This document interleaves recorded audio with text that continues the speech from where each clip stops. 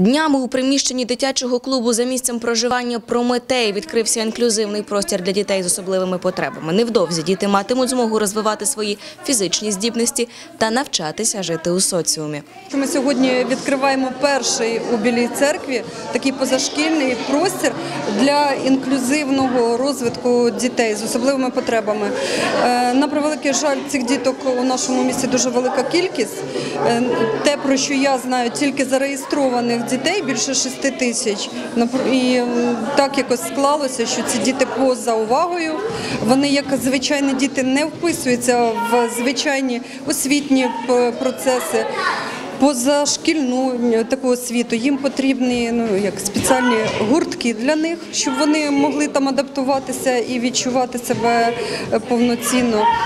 І е, от такий простір надасть можливість цим дітям якби виявити у кожного якісь свої здібності, свої таланти.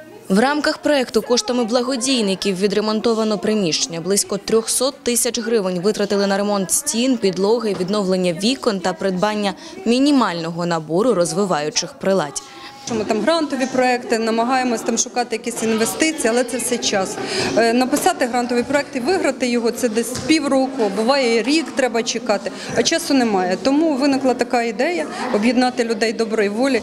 Їх на нашу велику радість у нашому місті дуже багато. Їх просто треба знайти. Вони є, вони завжди готові підтримувати.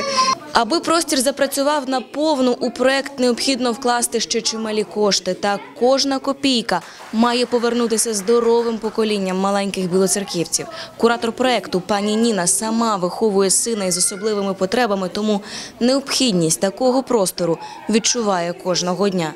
У дітей з аутизмом у них порушене відчуття власного тіла.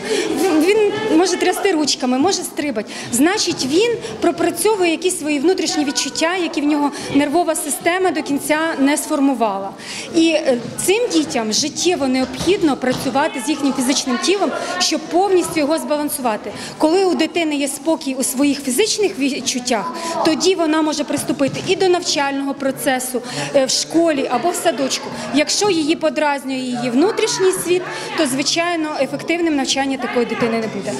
Варто сказати, цей проект був внесений на голосування в рамках громадського бюджету та потрібної кількості голосів не набрав. На 60 білоцерківців більше проголосувало за модульну вбиральню. І хоча у ремонт вкладено майже половину суми, яку хотіли залучити через громадський бюджет, а також незрозумілу ситуацію з голосуванням по вбиральні, не виключено, що на оснащення простору для особливих дітей знову доведеться збирати кошти по благодійникам. Анна Ніколаєць, Сергій Нечитайло, Дмитро Ніжельський. Новини. Телеканал Крокус.